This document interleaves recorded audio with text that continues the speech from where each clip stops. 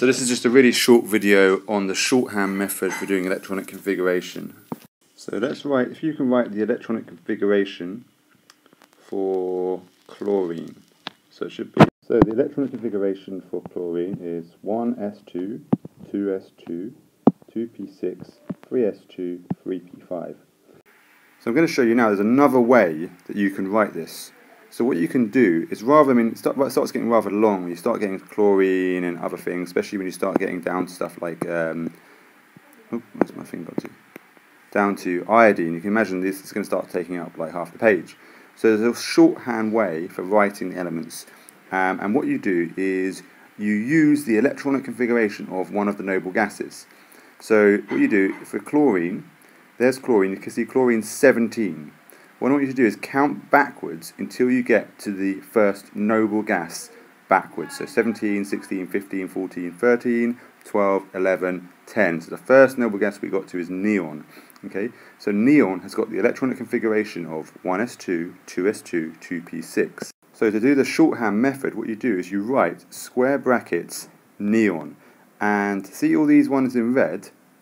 They are all the square brackets neon is represents all of these ones in red, so we don't need to write these ones in red. All we have to do is write the ones in green. So, rather than writing out the full electronic configuration for chlorine, I can just write square brackets neon 3s2, 3p5. Let's try another example. Let's uh, do um, calcium.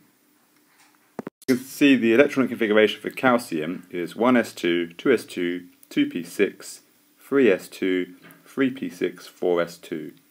But if you want to do the shorthand method, find calcium and just count backwards until you get to the first noble gas. So calcium is 20, so 20, 19, 18, so there's our first noble gas, so we're going to use argon. So we can use uh, all that stuff in red, 1s2, 2s2, etc. to 3p, 3p6. It can just, all of it, just be replaced by argon because that is the electronic configuration of argon. So we can, calcium is square brackets argon, and then we can just do the 4s2 and that's the shorthand way for doing calcium using noble gas. I just now want to just sort of um, because there's a massive link obviously between the periodic table and this and these electronic configurations. So, for example, if I said um, what subshell is the for the outer shell for arsenic, right? Now you don't need to write out the full electronic configuration to tell me that because what you can see, you can see it is in period 4. See, that's period 1, 2, 3, 4. So it's in period 4, which means its outer electrons must be in the 4p, because it's in the p block.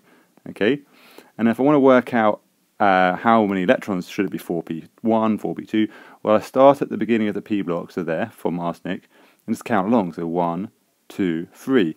So therefore, the outermost electrons for arsenic is 4p3. So similarly, if you were asked for the what would be the outer for uh, radium, well, it's in the um, 1, 2, 3, 4, 5, 6, 7.